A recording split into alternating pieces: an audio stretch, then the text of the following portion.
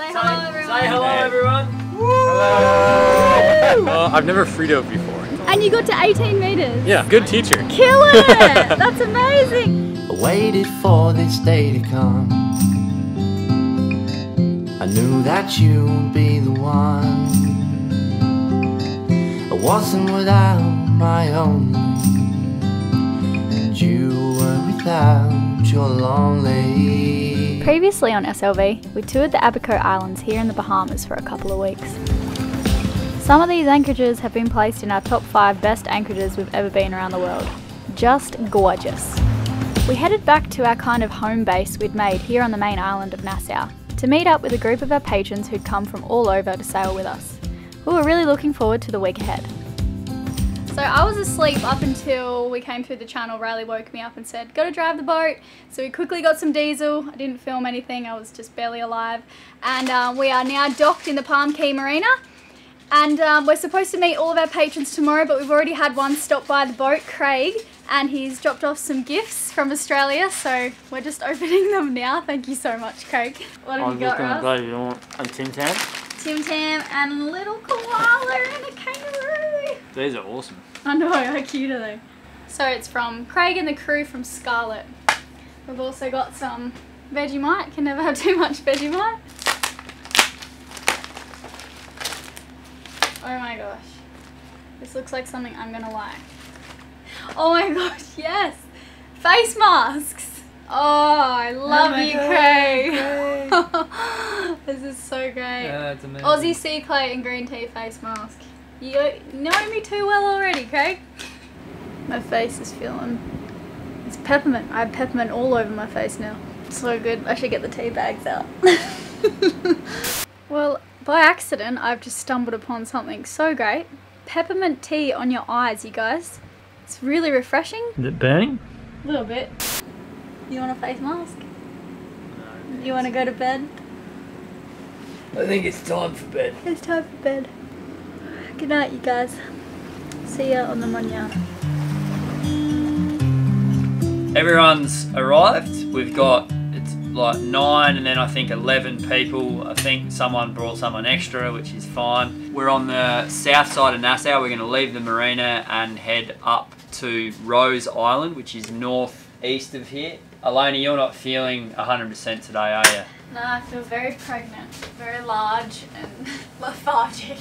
Which doesn't happen often, but that's fine. I mean, we've got a crew to help out today, so that'll be good. There's a few sailors in amongst the people. There's a few people that have got no experience at all sailing. So we'll all have a go hoisting the main, like tacking and doing all that sort of stuff, and then we might do some freediving later. There's a dude called Matt who's a mad keen spearfisherman, so him and I are going to go and try and get some uh, lunch or dinner for everyone, and uh, yeah, that'll be that'll be the day I think. Uh, the only thing is, is because of the numerous coral heads that we're surrounded by. Every chart that I've ever read in a place like this, it just always says numerous coral heads. It's like we can't, we couldn't be bothered charting them. Just numerous. we really need to travel when the sun's like this, so we've got to get there and then get back again. Um, I w- I'd like to be back here by sort of four, five, something like that. And generally speaking, people don't like being on being on the water for an entire day. Everyone gets sunburned, exhausted, dehydrated. but I don't think it'll be. It's not going to be rough. Nah, this should be a really easy sail today. I'm looking at the leaves on the trees over here, and they're just. There's, it's not. It's not very windy at all. And just pull, make sure it's all inboard. Nicely done, Craig.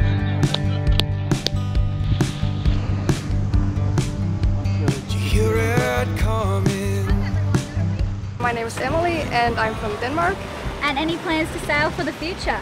Yeah, next year I might take a trip, be someone's crew for a couple of months. That's the plan. And I hope so.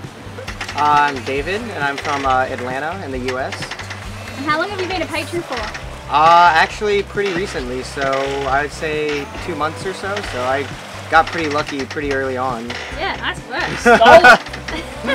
Nailed it.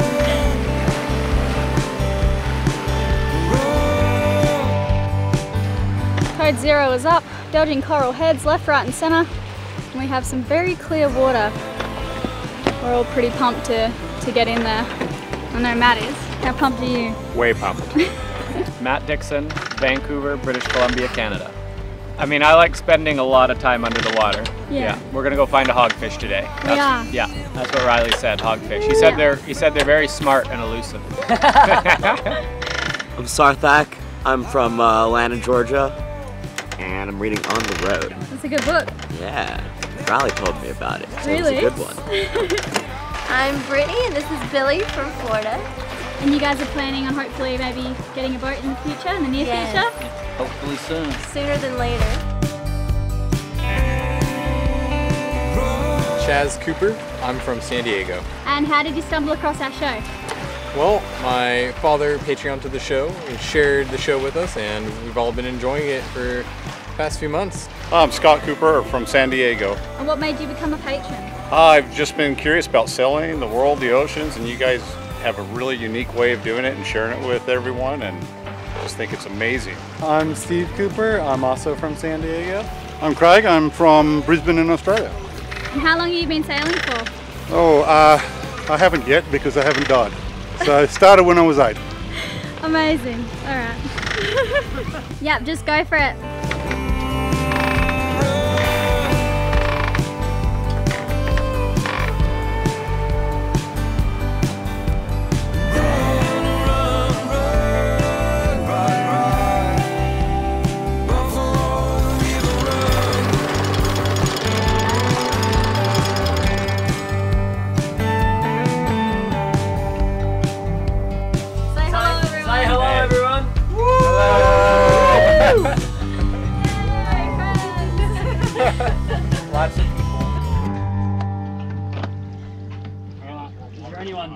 I can squash alone? Nah, you can drop the dinghy. All right, let's go team to the beach.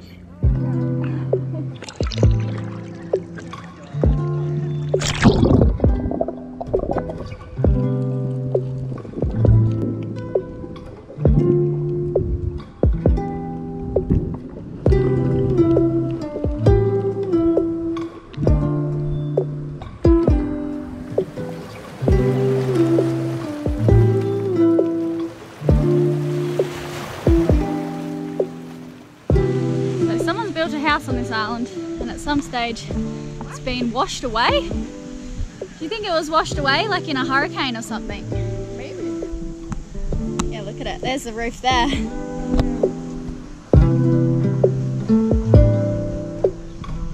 What's down there? A water tank or a storage Oh, tank? yeah.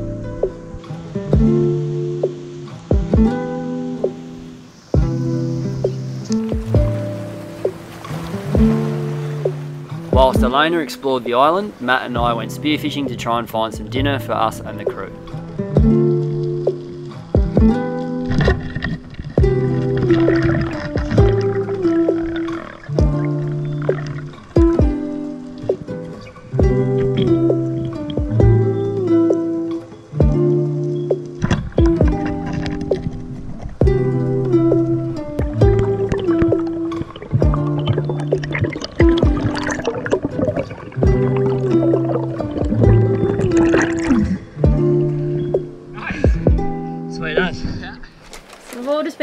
Waiting for the boys to return.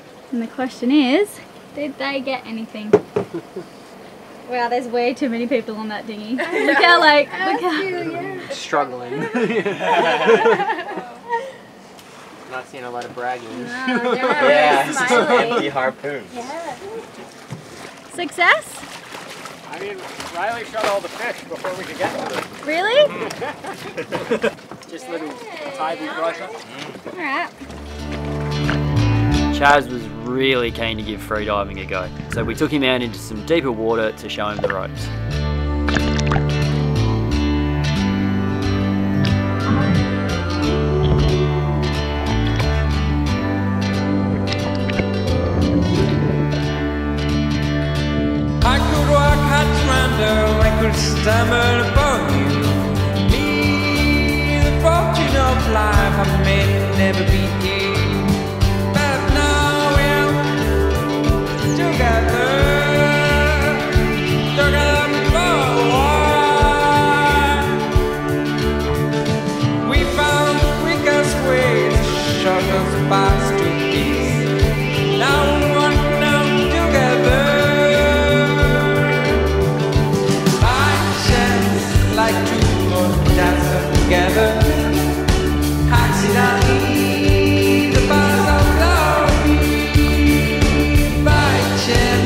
Like two walls dazzled together.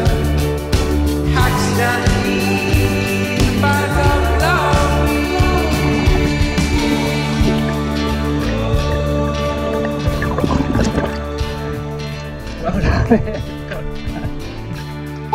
Epic. Well done. What are we up to here, Matt? Oh, we're gonna put in some Jamaican jerk seasoning here. Yeah. Good idea. I'm so excited. Yeah. And the boys are just waving down these fishermen out here uh, in hope to get some lobster, I think.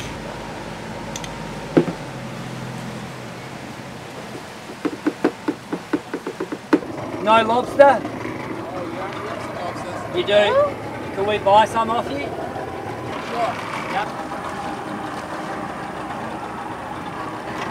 Thank you. Have a good day. Yeah, thank you guys. Thank you. What they got, Ralph? Crustaceans. Got our crustaceans.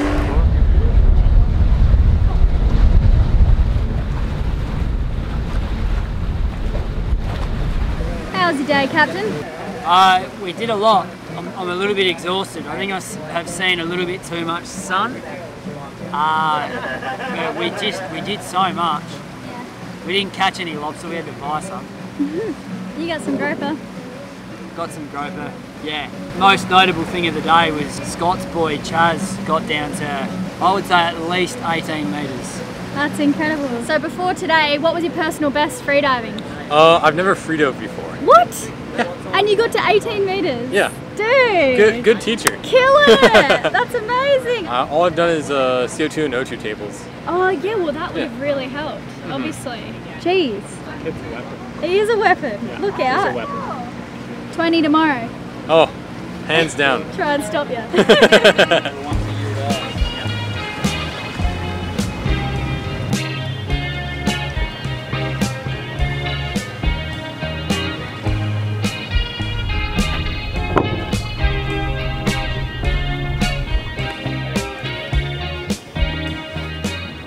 cooking some sausages and some vegetarian burgers and we have a full boat right now cooking for 11 people. It's proving to be quite the mission but I'm nearly done. I thought that a traditional Australian sausage sizzle would be the way to go on the cruise first night. So I hope they enjoy it.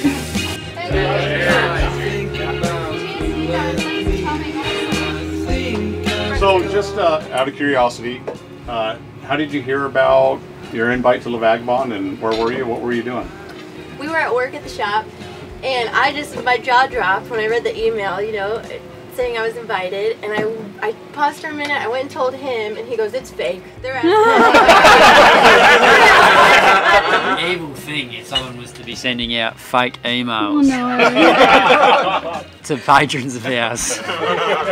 Just I watched the whole video and and, and Emil Thompson. I was like Emil, Mm. Eli, Emil Thompson, and I just panicked. Started, yeah, started jumping up and down. And mom was like, "What's going on?" They called my name. And crying. And yeah, I was, yeah, I was just, So I always look forward to watching the show, and I'm exhausted. And I'm like, hey, I finally get to sit down and watch Sailing La Vagabonde. So we're half asleep. Chaz was with me, and we're sitting on the couch watching it and just going, and I'm nodding off. All of a sudden I hear Charles Cooper, and I look up and it's like, what? I rewind it and I play it again. And I'm, Chaz, am I, am I hearing this right? Thank you so much for the invite, and it's yeah, yeah we really appreciate it. Your Guys, videos stop are it. inspiring. Stop it.